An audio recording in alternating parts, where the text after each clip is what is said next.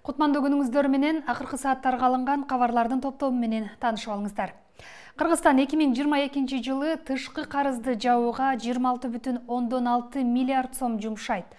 Бұл қаражат өлкі бюджетінен қаралғанын бүгін парламенттік бұғуда қаржы министері Алмаз Бакетаев білдірді. Ал эми 2023 жылы төлемдіргі 34 миллиард сом, 2024 жылға 38 бүтін 18 миллиард сом бөлүү Гейін кей жылы бүджеттен жалпы чығашалары 212 миллиард 685 685,10 сомдон эки миллион сом өлчөмүндө пландаштырылган. эки миң жыйырма экинчи жылга республикалык бюджеттин тартыштыгы тогуз бүтүн ондон бир миллиард сом же ички дүң продукцияга карата бир бүтүн ондон үч пайыз деңгээлинде пландаштырылган. бюджеттин долбооруна ылайык келерки жылы казынанын чыгашасы эки жүз он эки миллиард алты жүз сексен беш бүтүн ондон эки миллион сомдо. Кирешеси 203 миллиард 563 бүтін 15 миллион сомды түзет. 2023 жылы дефициттин азайышы күтілуді ал эми 2024 жылы 8 бүтін 13 миллиард сом профицити болжолдонууда өлкөдөгү ооруканаларда жүз алтымыш эки миллион сомдук мыйзам бузуулар аныкталды. Эки миң жыйырма биринчи жылга карата жетимиш сегиз саламаттыкты сактоо уюмунда аудит жүргүзүү пландаштырылган иш жүзүндө алтымыш беш саламаттыкты сактоо уюмунда тиешелүү текшерүү жүргүзүлгөн. Бул тууралуу саламаттык сактоо министрлигинин ички аудит башкармагынын башчысы билдирди. эки миң жыйырма биринчи жылдын он бир айындагы аудиттин жыйынтыгы боюнча он жети саламаттыкты сактоо мекемесинин материалдары кошумча иликтөө үчүн башкы прокуратурага укмкга жана экономикалык кылмыштарга каршы күрөшүү боюнча мамлекеттик кызматка өткөрүлүп берилди.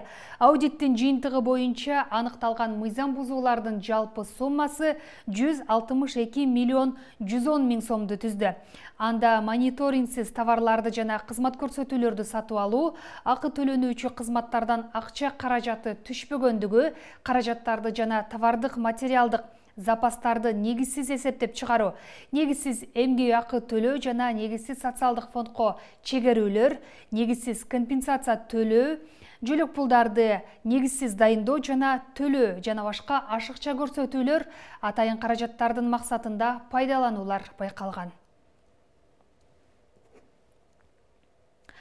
кыргызстанга келгендердин пчр тестинин мөөнөтү кыскарышы мүмкүн. Министрлер кабинетинин төрагасынын орун басары эдил байсалов саламаттыкты сактоо министрлигине кыргызстанга чет өлкөлөрдөн келген жарандардын коронавируска каршы тапшырган тесттин мөөнөтүн жетимиш эки сааттан кырк сегиз саатка азайтуу маселесин карап чыгууну тапшырды. Бул тууралуу коронавируска каршы ыкчам штабтын кезектеги жыйынында билдирилди. Анда ковид он тогуздун омикрон деп аталган түрүнүн жайылуу коркунучунун алдын алуу чаралары талкууланды. Вирустун жаңы түрүнө байланыштуу биринчи декабрдан тарта кыргызстанга чек арадан кирген ар бир адамдын коронавирус жоктугун тастыктаган милдеттүү пчр тест талап кылынат. Чет элдиктер да кыргызстандыктар да вакцина алганына карабай тесттен өтүүгө тийиш омикрон штаммы катталган өлкөлөрдүн жарандары өлкөгө киргизилбейт өткөн айда алгач түштүк африкада катталган коронавирустун бул түрүнүн белгилери мурдагы штаммдарга салыштырмалуу жеңил өтөөрү айтылган. Учурда илимпоздор омикрон вакциналарды канчалык Э, тоготорун иликтеп жатышат. Коронавирустун жаңы түрү ондогон мамлекеттерде аныкталды. Акыркы бир суткада кыргызстанда коронавирустан эки бейтап ажал тапты. Оору дагы элүү үч адамда аныкталды.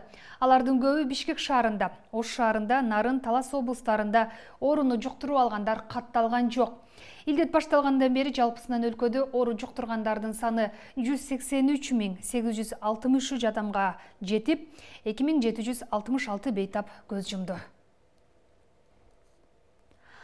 баткенде мүрзөлөрдөгү темир тосмолорду уурдап жүргөн киши кармалды деп билдирет облустук милициянын басма сөз кызматы.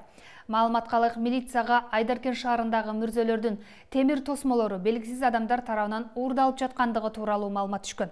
Аталган маалымат кадамжай райондук ички иштер бөлүмүнө катталып иликтөө иштери башталган анын натыйжасында тосмолорду уурдаганга шектелип айдаркен шаарынын отуз сегиз жаштагы тургуну кармалды. Учурда тергөө иштери уланууда бишкектин түштүк бөлүгүндө үч автоунаа кагышты. Кайгоол кызматынын маалымат катчысынын айтымында жол кырсыгы бүгүн саат тогузда жетинчи апрель көчөсүндө түштүк магистралдын ылдый жагында катталган.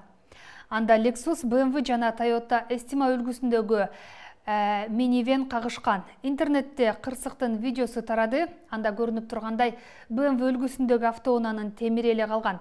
Ыкчам милиция борборунан билдиргендей бмв үлгүсүндөгү автоунаанын айдоочусу каза болуп lexus үлгүсүндөгү автокөлүктүн эки адам жабыркаган жеринде милиция кызматкерлери иштеп жатат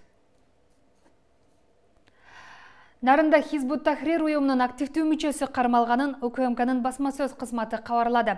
Анда айтылгандай эки миң жыйырма биринчи жылдын сегизинчи декабрында укмкнын нарын облустук башкармалыгы жана нарын облустук ички иштер башкармагынын кызматкерлери тарабынан ыкчам иликтөө иш чараларынын уюштуруусунун жүрүшүндө сот тарабынан тыюу салынган.